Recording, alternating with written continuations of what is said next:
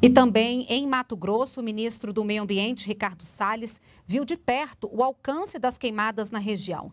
Desde o final de julho, o governo federal realiza a Operação Pantanal para combater os focos de incêndio na maior planície alagada do mundo. Mais de 400 profissionais, entre bombeiros, militares e brigadistas, trabalham para conter as queimadas.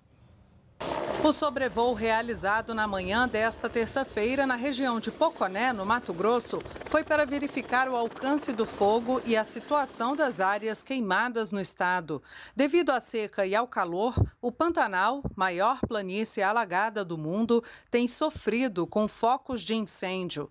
No fim de julho, o governo deu início à Operação Pantanal para diminuir os estragos do fogo.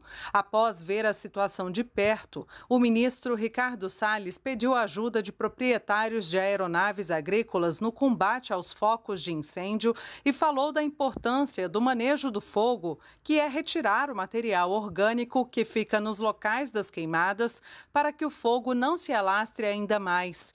Salles falou também que foi autorizado o uso dos retardantes, também conhecidos como bloqueadores de fogo, no combate às queimadas do Pantanal. Quando há emprego deste produto, dos retardantes, os bloqueadores de fogo, a eficácia da, das aeronaves no combate às queimadas é muito superior do que apenas e tão somente o uso da água.